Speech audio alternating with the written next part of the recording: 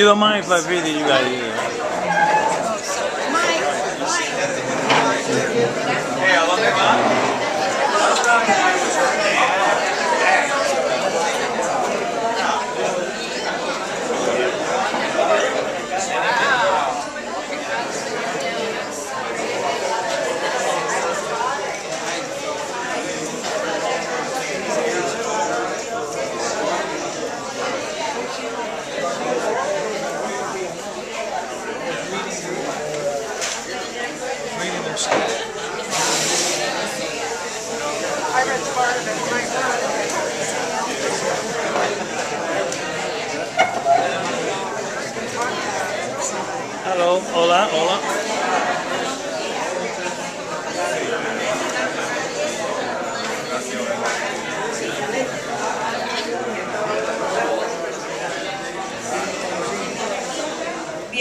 A la Peña Cubana de Los Ángeles. Precisamente hoy cumple cua- 14 años y un mes de formada, de fundada la Peña y esperamos con el favor de Dios cumplir algunos añitos más. Qué optimista. Estamos cumpliendo lo que realmente motivó la creación de la organización, que no ha sido más que, eh, no ha sido más que resaltar a todos y a cada uno de las personalidades que honran a nuestra comunidad cubana.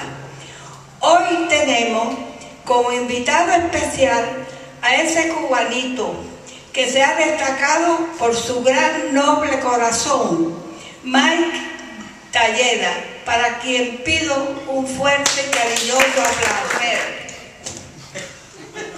Ay, el reverendo Achón iba a ser, no ha llegado, la invocación del acto.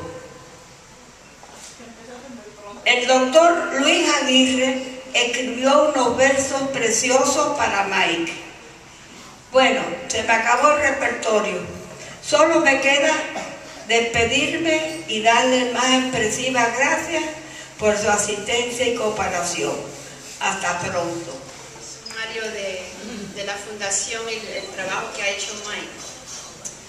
Mike Talleda, presidente y fundador de la Fundación 911 Help America, recibió este pasado diciembre en la ciudad de Torrance un reconocimiento como héroe desconocido.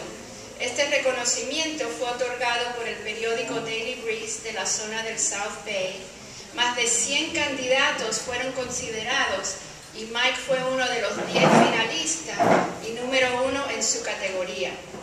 Mike fue escogido por su trabajo y la labor que realiza a través de la fundación al proveer ayuda económica y moral a soldados que han sido heridos en las guerras de Irak y Afganistán y a las familias de estos que aún sufren las consecuencias del sacrificio de sus esposos y sus padres.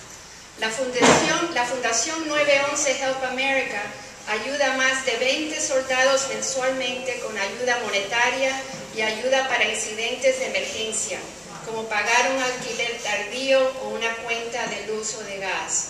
La fundación le envía saludos de cumpleaños a más de 100 niños que han perdido sus padres y también no se olvidan de las mamás, reconociéndolas cada día de las madres con un ramo de flores.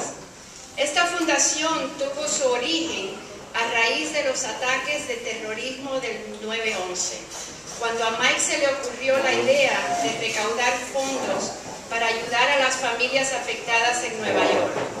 Mike pensó que él como refugiado cubano había sido recibido con brazos abiertos por esta gran nación y que ahora era su turno para agradecer esa gran ayuda.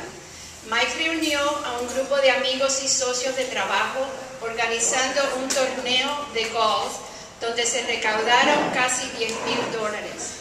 A través de amistades se identificó el caso de una muchacha que había perdido su esposo en las Torres Gemelas y ahora quedaba viuda con dos niños pequeños. Se le envió a ella unos 7 mil dólares en, en efectivo, dinero que ella usó para establecer un fondo para la educación de sus dos pequeños muchachos.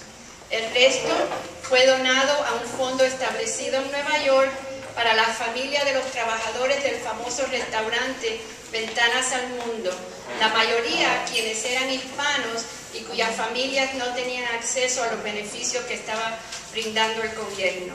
Ese fue el comienzo. De ahí Mike siguió con su idea de ayudar a los damnificados y cuando comenzaron la guerra en Afganistán y después en Irak, la fundación comenzó a ayudar a las viudas e hijos de soldados americanos que habían muerto en combate. Más tarde comenzaron a regresar soldados vivos, pero con heridas no solo físicas, pero también emocional. La fundación reconoció esta nueva necesidad y Mike, ya conocido por su labor, era llamado cuando los soldados aún estaban ingresados en los hospitales de veteranos en Long Beach y en Westwood. Y ahí va Mike a extender su mano. Este ha sido el trabajo de Mike en crear esta fundación, que hoy día cuenta con una junta de directores y cuyo hay dos miembros de la junta de directores aquí hoy. Está Jeff Kittimer y Harvey Jacobson sentado allá.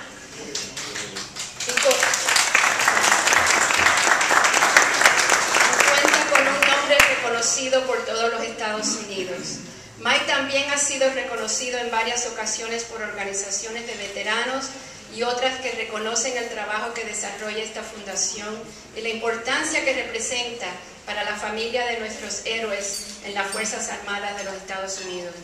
Para terminar, quisiera leerle una carta que no es muy larga de un estudiante de sexto grado en Kentucky.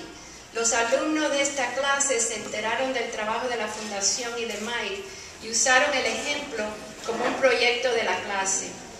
Cada uno le envió un mensaje uh, diferente a Mike y uno de ellos le escribe lo siguiente, y esto es en inglés. Dice, Dear Mike Talleda, my name is Justin Lambert from Williamstown Independent Schools in Williamstown, Kentucky.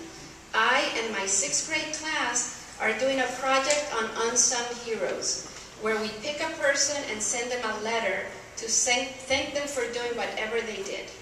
I picked you as my person because you founded the 9-11 Help America Foundation to help wounded firefighters and families of deceased firefighters and cops from 9-11. I know you work as a realtor for Shore, Shoreline West Realty. You get the money by working as a realtor and through donations. From my research, I found out that you made the 9-11 Help America Foundation to help with 9-11 and later Iraq and Afghanistan. You came up with the idea for the foundation in October of 2001.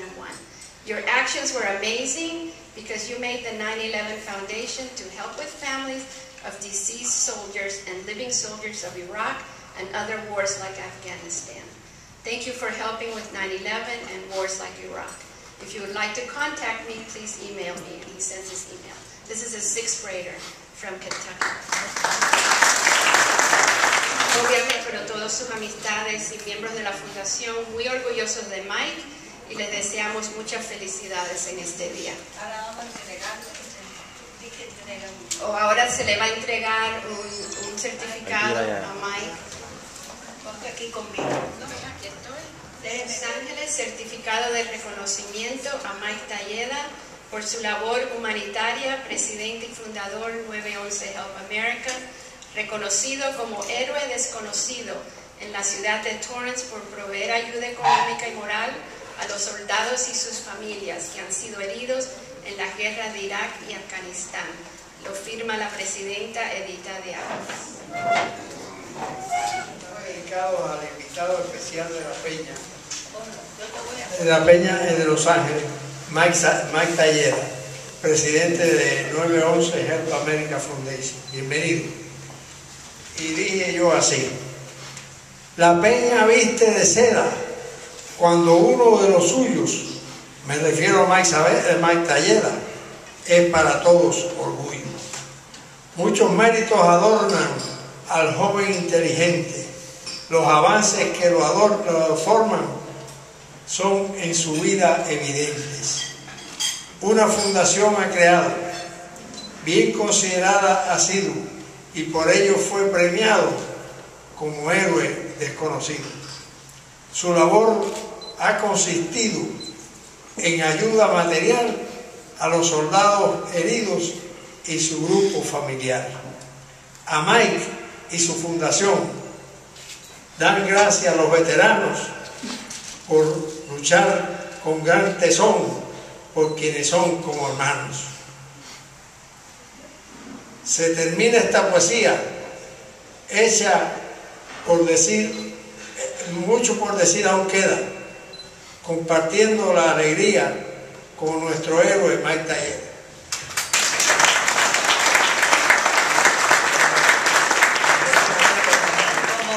Viene el señor Cardoso a hacer la invocación. Ah, llegó, llegó, llegó el reverendo. Ay, qué por la providencia de estos alimentos que consumiremos. Gracias al compartirnos y al sentarnos, unidos con el imborrable recuerdo de la patria distante. Gracias al darnos las energías, la fe y la esperanza para proseguir en esta causa a favor de la dignidad humana.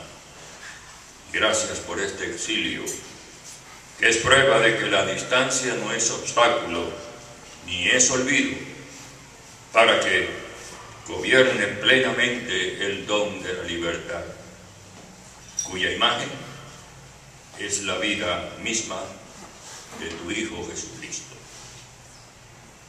Y gracias por este compatriota, Mike Taller, que hoy reconocemos como ejemplo de quien sin olvidar la causa patriótica de su padre, no ha sido ajeno a, este, a esta otra noble causa a favor de las familias de los que luchan en esta nación por el rescate de la justicia y de la libertad.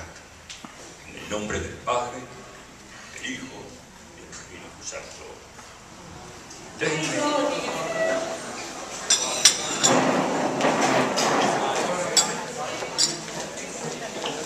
se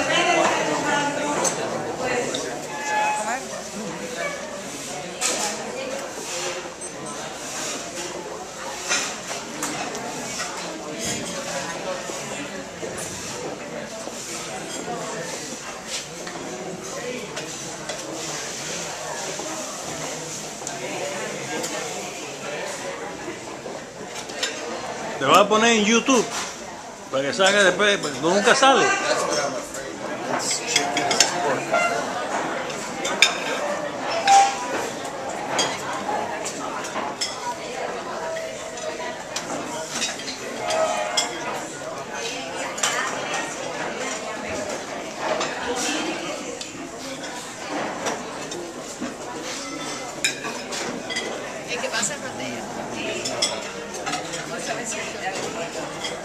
¿Cómo estás, joven? Voy a ponerte en YouTube también a ti.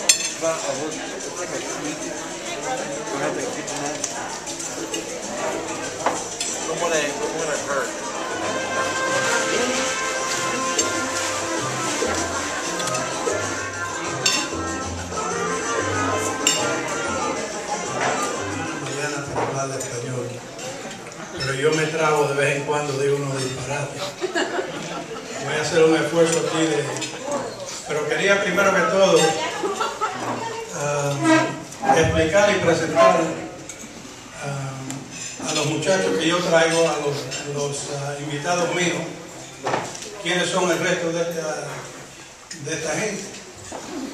Moses, ¿ya te va? Ok. Moses es uno de los muchachos de la fundación, él estuvo en Irak. Él estuvo quemado sobre el 40-50% del cuerpo, fue uno de los héroes de nosotros de la fundación. Gracias por venir, Moses.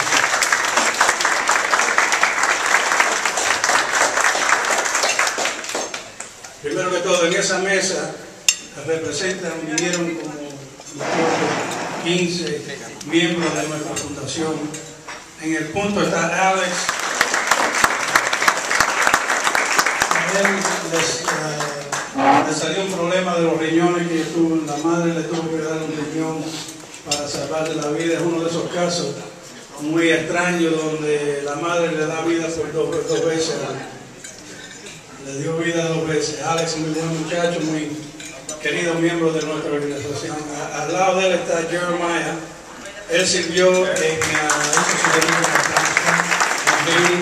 y la, la esposa Maribel recién tuvieron un baby los otros días. De él está Beatriz y José Hernández. José, levanta la mano. José estuvo herido en Irak por una explosión. En el otro lado, al lado de, de José está Luke, que es miembro de la fundación, el chairman del board, el, el- el- el mero mero, eh, Harvey Jacobson, Luis Ramirez, otro miembro de la, de la chair, del- del board of directors, en la Vietnam veteran, y eh, a ver qué más. Eh, Está Robert y Marion, que son voluntarios y miembros del staff. Y entonces para ellos, por ejemplo, ellos no saben quién son el resto de la gente que están aquí.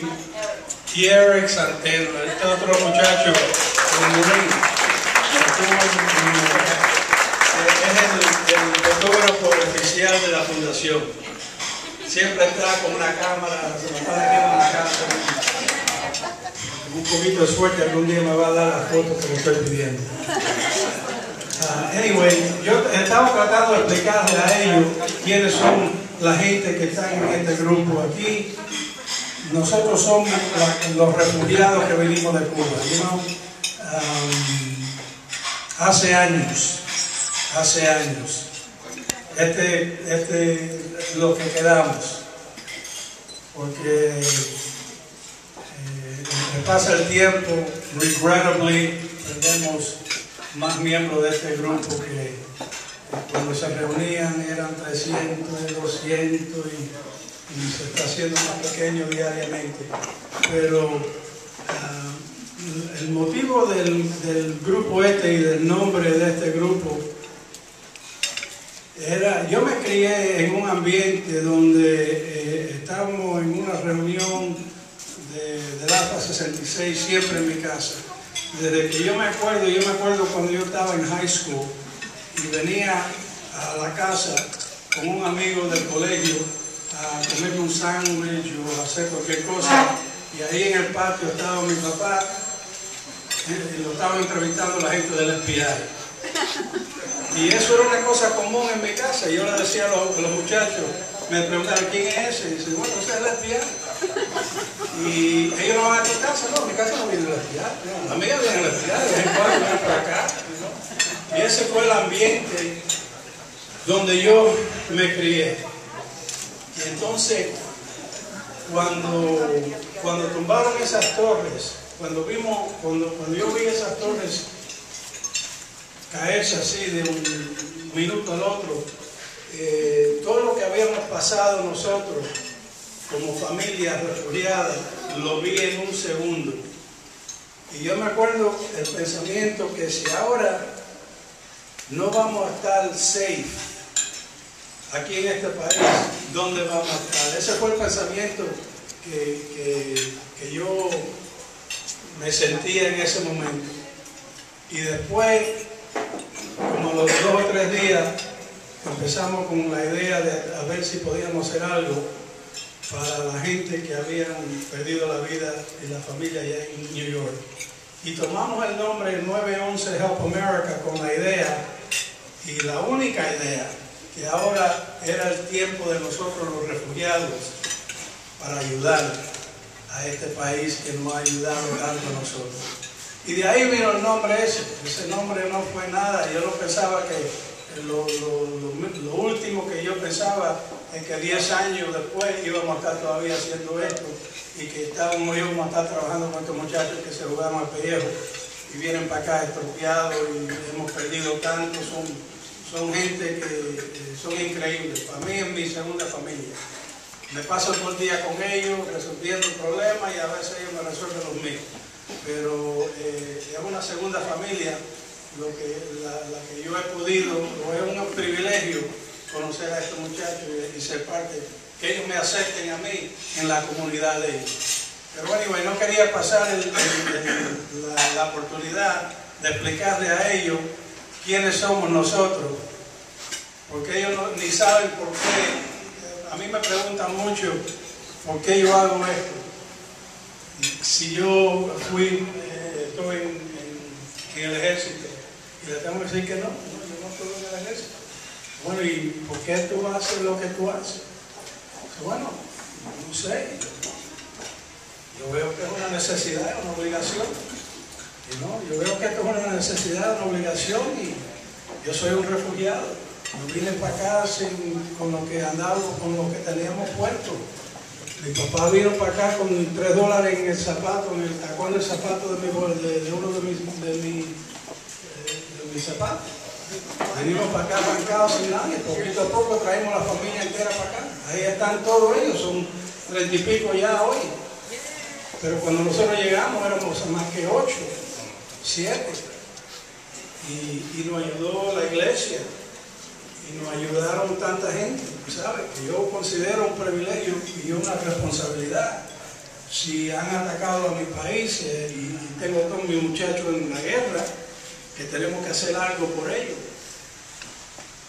Poquito, lo que sea, pero hay que hacer algo para ellos. Y gracias a Dios eh, hemos logrado poder ayudar a unos cuantos. Ya vamos para ochenta y pico y, y sobre los últimos eh, cinco o seis años hemos mandado como 300 mil dólares poquito a poco a todo ello. Tú sabes, y seguimos eh, eh, con un averaje de unos entre 20 y 25 mensualmente. Y no es solamente eh, ayuda financiera, pero es también reunirlo a ellos y mantener un, un network social afuera del departamento de los veteranos, donde ellos pueden venir y comer y, y sentarse ahí y decir, oye, ¿qué es esto? No, esto es yuca. y que hago con el mojito, tú sabes, y tener un tiempo social donde ellos pueden estar fuera de su ambiente, de los veteranos, del hospital y todo eso. Entonces eso es todo lo único, lo único, le, le agradezco mucho a Edita por este honor otra vez, que una gran amiga, una gran amiga mía, y, muchísimas gracias a todos ustedes.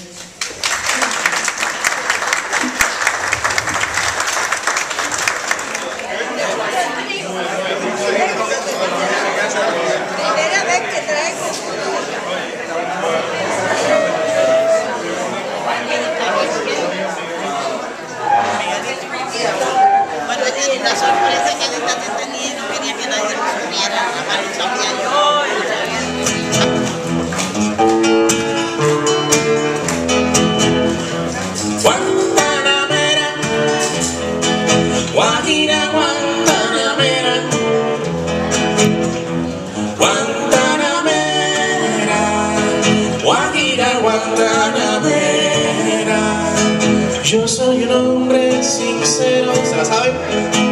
¿De dónde crece la palma? Ustedes, yo soy